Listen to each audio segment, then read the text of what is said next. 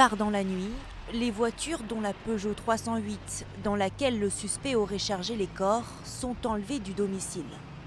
La reconstitution a duré 5 heures, deux ans après le drame. Cette étape s'annonçait cruciale, mais à la sortie, les avocats de la famille ont les visages fermés.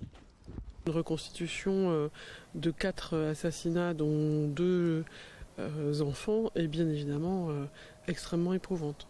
Nous espérions obtenir des réponses de la part du mis en cause et que malheureusement j'ai l'impression qu'il ne souhaite pas nous dire exactement ce qu'il s'est passé dans cette maison cette nuit-là. Hier à 20h49, précisément, le suspect placé en détention provisoire à la maison d'arrêt de Nantes est revenu sur les lieux du crime. Hubert Kawissin a dû montrer les gestes qu'il a effectués le jour du meurtre, mais celui-ci refuse toujours de reconnaître la préméditation, thèse soutenue par la partie civile.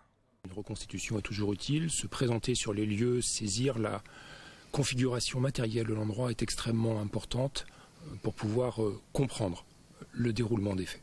La reconstitution ne résoudra pas à elle seule les nombreuses énigmes de l'affaire, mais elle s'annonce comme un épisode important de l'instruction qui se rapprochera ainsi un peu plus de sa fin, laissant présager un renvoi devant les assises en 2020.